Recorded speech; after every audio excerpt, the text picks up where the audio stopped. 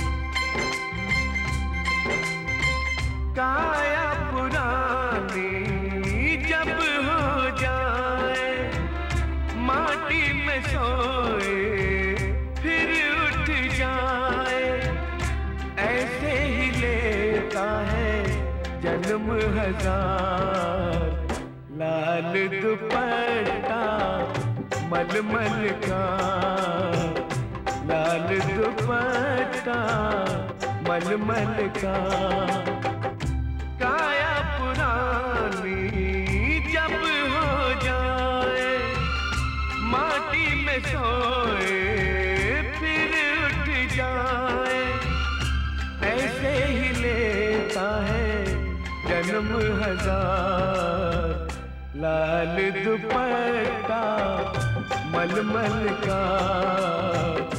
लाल दुपट्टा मलमल का।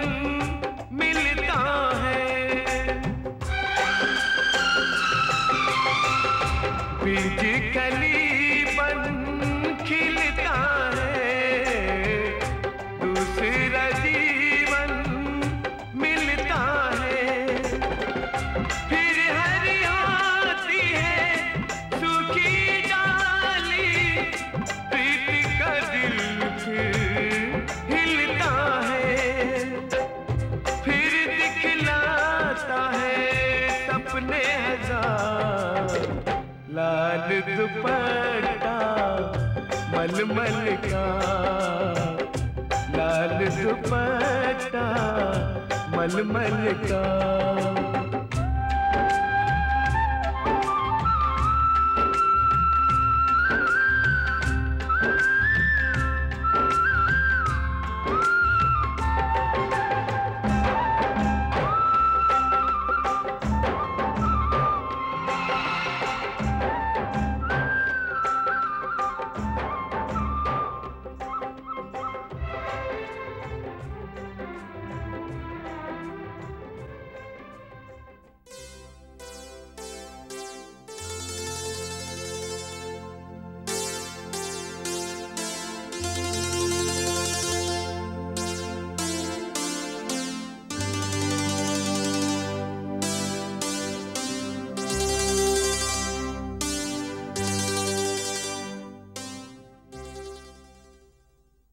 मम्मी। हम्म, मम्मी मैं अपनी फ्रेंड के घर जा रही हूँ। अच्छा।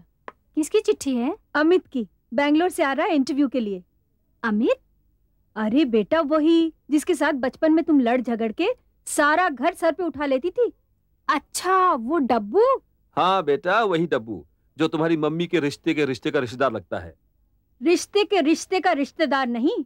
मेरी सगी मौसी के नंदोई का सगा भांजा है वो। हाँ हाँ मैं जानती हूँ मम्मी। वही ना जिसके साथ मेरा पल्लू बांधना चाहती हो तुम। अरे तो इसमें बुराई क्या है? नौजवान है खूबसूरत है पढ़ा लिखा है मेरे खानदान का है और आज के जमाने में भी इतना सीधा साधा है। बस बस मम्मी पहले ये तो बताओ चिट्ठी में क्या लिखा है? लिखता है वो बॉम्बे एक इंटरव्यू के लिए आ रहा है और कुछ दिन हमारे पास रहेगा।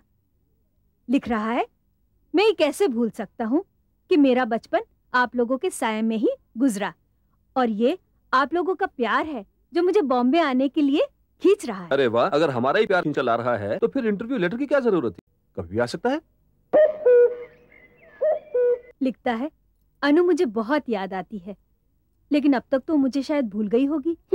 भूल गई होगी। मैं भला उसे कैसे भूल सकती हूँ?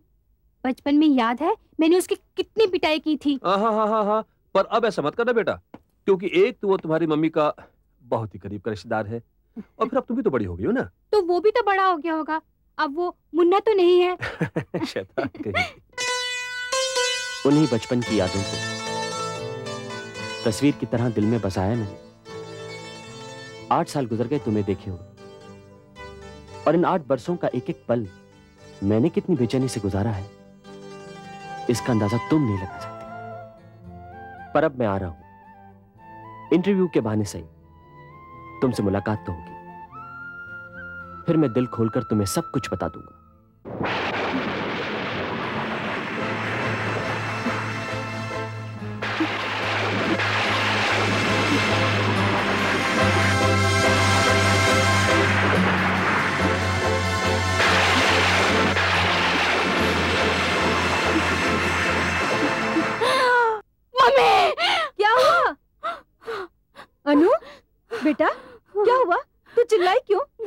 तेरी तबीयत तो ठीक है ना? मम्मी मैंने एक सपना देखा। एक त्रिशूल उस पर बिजली कड़के। मैं डर गई और मेरी आँख खुल गई। अरे सपनों से कोई डरा थोड़ी करता है। और कहाँ है बिजली? देखो बार। आसमान बिल्कुल साफ़ है तारे चमक रहे हैं। और फिर सपना तो सपना होता है। कोई सच थोड़ी होता है? पता नहीं पापा। मुझे ऐसा क्यों लगता है? शायद ये सपना सपना नहीं कोई सच है।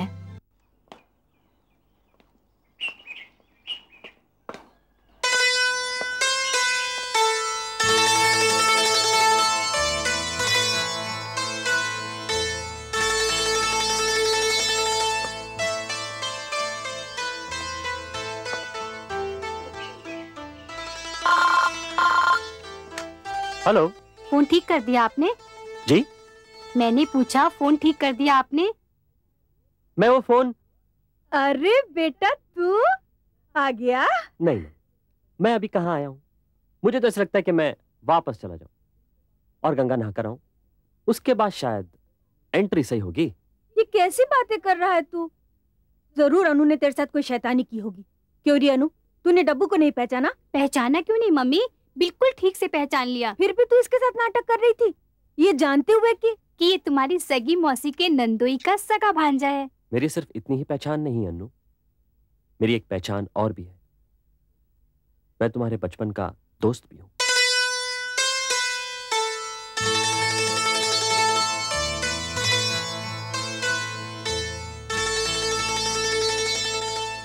आज बरसों बाद, ज़िंदगी ने फिर एक बार हम दोनों को एक दूसरे के करीब ला दिया। मैं कितना खुश हूँ, इसका अंदाज़ा तुम नहीं लगा सकती। इस धड़कते दिल में ना जाने कितने अरमान सजे हैं। रियली जरा तुम्हारे इन सपनों का ट्रेलर तो देखें। वाई नॉट एक बड़ी प्यारी खूबसूरत सी जगह। हरे भरे मैदान बर्फीली पहाड़ी और उसी जगह पर अंगूठी में जड़े नगीने की तरह खूबसूरत हमारा एक छोटा सा घर और उसमें रहते हैं तुम और मैं। न दिन का होश न रात की खबर। बस। लेकिन एक बात है कि हम उस छोटे से घर का नाम क्या रखेंगे?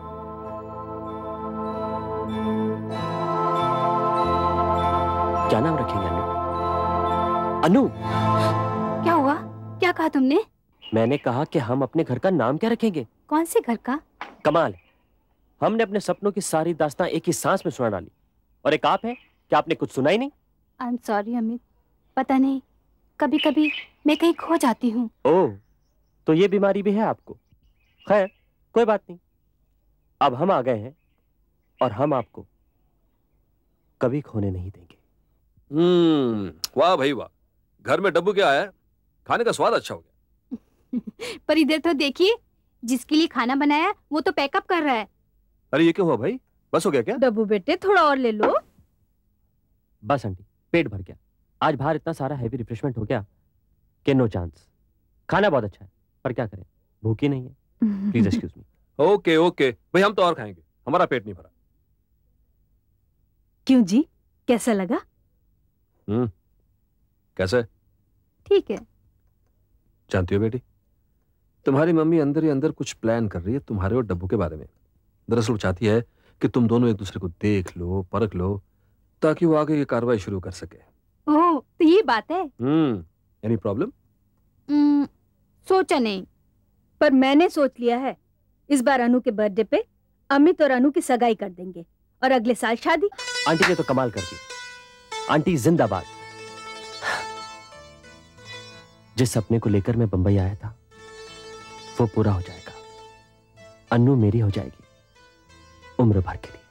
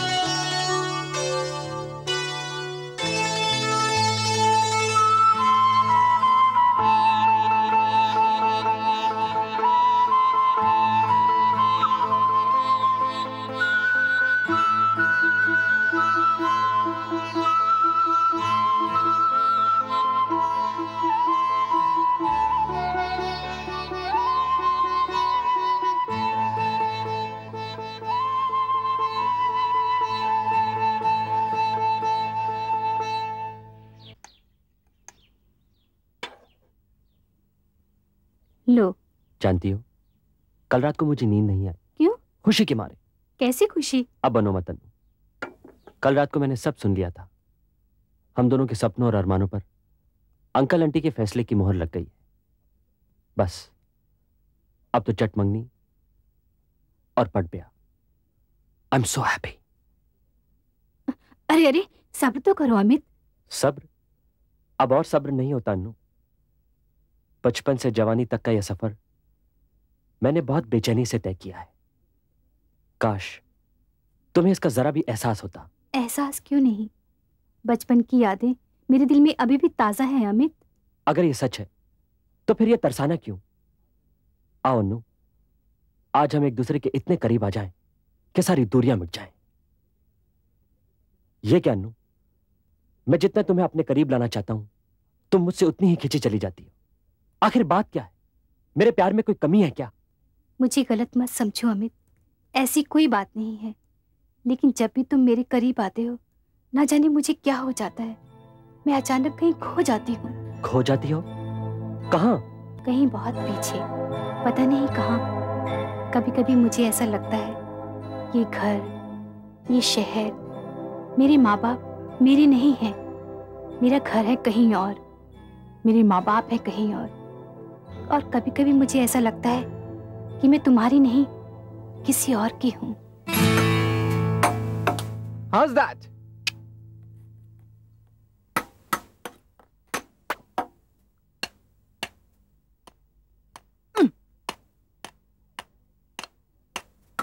Oh no! Yes. That's it. Hi, mom. हाय तुम लोग अभी तक खेल रहे हो स्कोर क्या है Two one. हम्म, झूठ बोलता है टू ईच है टू ईच। हाँ हाँ वो ठीक है तू बीच में फ्लूक में गेम जीत गया था ना। हाँ मॉम टू ईच है। अमर तू इससे हार रहा है? अरे इसे तो मैं हराती हूँ। माँ वो क्या है कि जब ये हार जाता है तो रोने लगता है। इसीलिए मैं एक तो हाँ। गेम ऐसे ही जाने दे रहा हूँ ताकि कुछ गेम में इंटरेस्ट बना रहे। अच्छा अच्छा ठीक है। नाश्ता तैयार है तुम लोग नीचे ओके आंटी मेरे लिए दूध रखिएगा दो ग्लास सिर्फ़। थैंक यू क्या हुआ? अमर? अमर? क्या हुआ अमर? अमर क्या हुआ? Aunty aunty aunty! क्या हुआ? वो खेलते खेलते अचानक अमर गिर गया। अमर? अमर क्या हुआ बेटे? पता नहीं माँ चक्कर सा आ गया था। ऐसा लग रहा है जैसे सब कुछ घूम रहा है। मेरे साथ ऐसा कई दफ़ा हो चुका है। लेकिन मैंने आपको कभी बताया नहीं। कोई कोहरा कोई धुंध मेरी यादों में छाने लगती है। मैं किसी नए ज़मीन, नए आसमान के साथ साथ चलने लगता हूँ। और इन्हीं सबके बीच में, मुझे कोई अपनी तरफ़ खींचने लगता है। और मैं खिंचता चला जाता हूँ। मुझे नहीं मालूम वो कौन है। मुझे नहीं मालूम वो कौन है। वो किसका साया, वो किसकी परछाई है। और जब मैं उस साय को पकड़ने की कोशिश करता हूँ ना माँ तो वो साय मुझसे दूर होता चला जाता है। कोई है जो दिखता है पर नहीं दिखता। एक धुंधली धुंधली सी तस्वीर है माँ। एक धुंधली धुंधली सी तस्वीर है।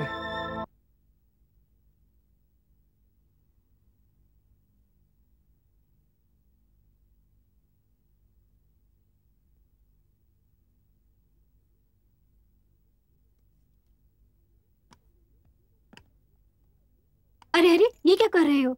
मेरी तस्वीर क्यों निकाल रहे हो? निकाल नहीं रहा। सिर्फ़ फ्रेम बदल रहा हूँ। फ्रेम बदल रहे हो? हाँ। वो क्या है कि मैं इस तस्वीर को अपने दिल के फ्रेम में सजाना चाहता हूँ। ओह बातें करना तो कोई तुमसे सीखे।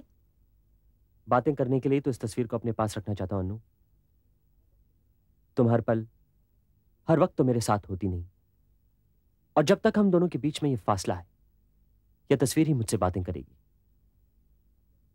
मैं इस तस्वीर को अपने आप से कभी दूर नहीं होने दूँगा। हमेशा अपने दिल के पास रखूँगा। तुमने रख तो ली। तस्वीर हमारी लेकिन लेकिन क्या अनु लेकिन कहीं ऐसा ना हो कि जिस तरह मौसम बदलता है उसी तरह ये तस्वीर भी अपना रंग बदल दे। ये तुम कह रही अनु मैं नहीं ऐसा लोग कहते हैं। लोगों की छोड़ो। और जो मैं कहता हूँ वो सुनो। मौसम चाहे जितने ही रंग बदले लेकिन हमारे प्यार की तस्वीर के रंग कभी नहीं बदलेंगे।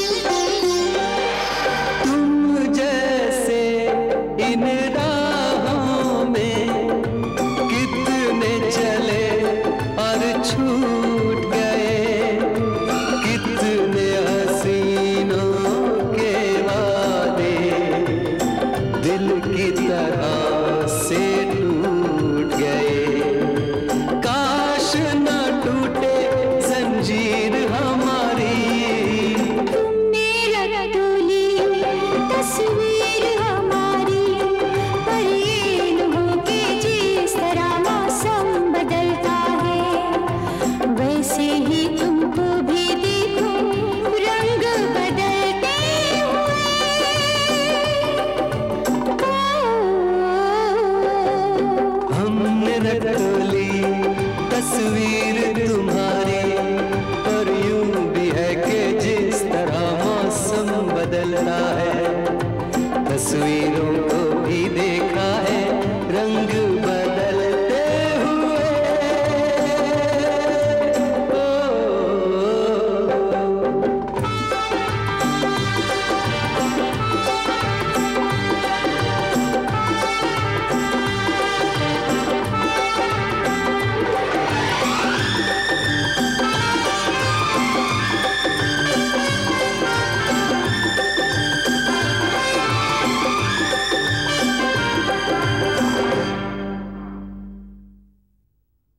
के ग्यारह बज गए अनु अभी तक नहीं आई। आ जाएगी। कौन सी अकेली गई है? अमित भी तो साथ गया है। लगता है तुम्हारे रिश्ते के रिश्तेदार के साथ हमारी बेटी काफ़ी घुल मिल गई है। क्यों न हो? वो मेरी सगी मौसी के नंदोई का सगा भांजा है। अब तो लगता है सिर्फ़ सगाई नहीं शादी भी मेरी मर्ज़ी से होगी और जितनी जल्दी मैं चाहूँगी।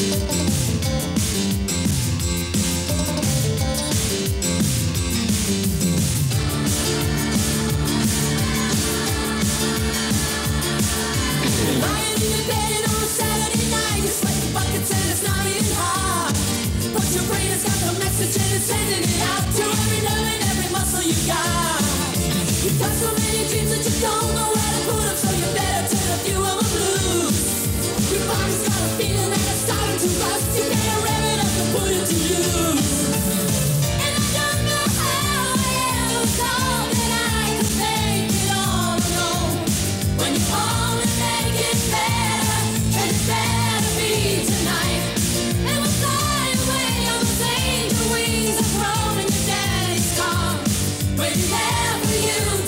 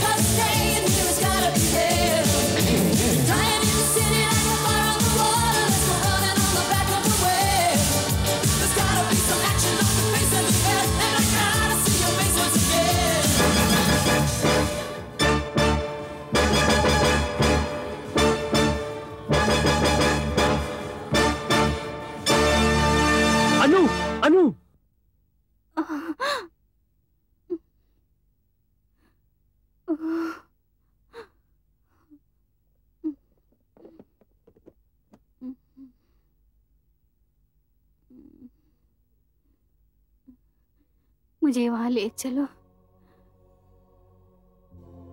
उसी मंदिर के पास बड़ा सा झरना है, ऊँचे पहाड़ है। मेरा घर, मेरा सब कुछ वहाँ है। मुझे वहाँ ले चलो। गुल्लू गुल्लू के पास मुझे वहाँ ले चलो। हाँ ले चलो। हाँ बेटा।